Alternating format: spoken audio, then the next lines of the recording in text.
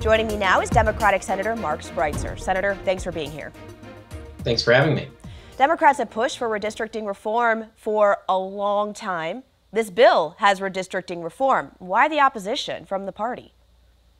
First of all, we can't trust Robin Vos to suddenly change his mind after over a decade of opposition for any good reason. Uh, the fact is, he thinks that this will be able to get him out of a Wisconsin Supreme Court case that might actually overturn his gerrymander and set a standard against partisan gerrymandering. But the other fact is uh, that the bill that Robin Vos is putting out uh, is not actually the bill that Democrats have uh, put forward most recently. Uh, there's some key changes uh, and some real loopholes that Robin Vos can exploit exploit to make sure that we don't actually get fair maps. And walk me through the change that is is causing issue for Democrats.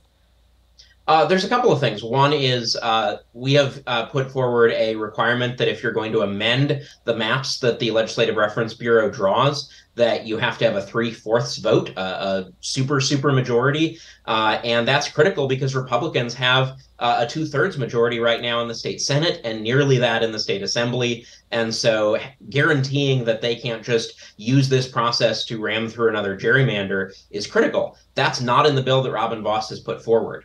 The other thing is uh, the proposal that Democrats have supported was never intended to address an existing gerrymander. It was always intended to be used uh, in the once every decade normal redistricting process. And the default there, if there's a stalemate and you don't actually agree on a new map, is you go to court and the court imposes a map. The default right now, if there's a stalemate through this process, is the existing Republican gerrymander staying in place. And I believe that is Robin Vos's goal, uh, is to just keep the existing gerrymander and uh, never actually agree on a fair map through this process. The bill that passed out of the assembly had seven amendments. One of those was that there needs to be a bipartisan vote in order for the map to pass if there were rejections of the first couple so that's not okay with you. It is still a simple majority, but it is a bipartisan agreement. That's not something Democrats can get behind. I think that's a clever attempt by Robin Vos to offer an alternative to the three fourths vote requirement that doesn't actually provide meaningful protections. Bipartisan could just mean that they pick off one Democrat by offering them a district map that uh, makes their district safe. Uh, that's not how this ought to be. Voters don't want politicians agreeing to maps that protect them individually. They want to get politicians out of the process and have maps where voters actually get to choose who their elected officials are on fair competitive maps. And so uh, having an incentive where one Democrat, uh, you know, joining Republicans suddenly passes a map, that's just an invitation for corruption and self-serving action. This bill is headed to the Senate. You are a senator and you will be considering this coming up in the future. There will is there going to be a hearing on this bill before it heads to the Senate floor?